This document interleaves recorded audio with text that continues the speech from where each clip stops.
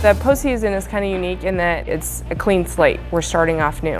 Back to the basics, we break it down, we move lightweight for a lot of reps, a lot of bar speed, you know, on our explosive movements.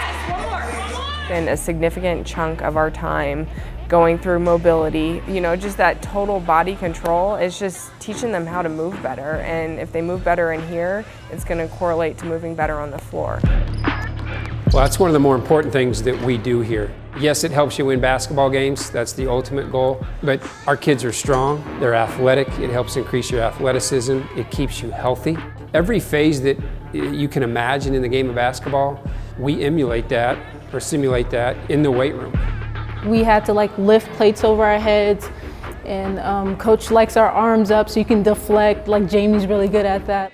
Everything you do, it transitions to the court. When you get a rebound, they say you you, you don't go out with your butt sticking out, your hips are forward. So just little things like that that just transition. And Jacqueline relates everything to the court. You guys are all here to win, right?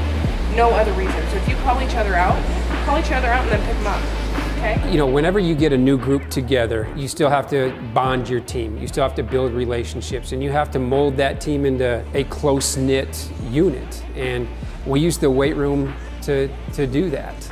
I just think we all at the beginning came together and was like, hey, this is what we need to do. We need to come together as a group.